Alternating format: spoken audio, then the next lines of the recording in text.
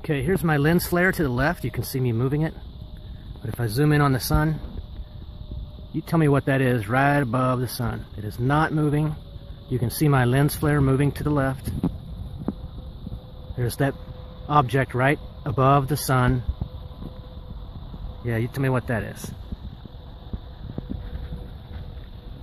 Just poking out. Interesting.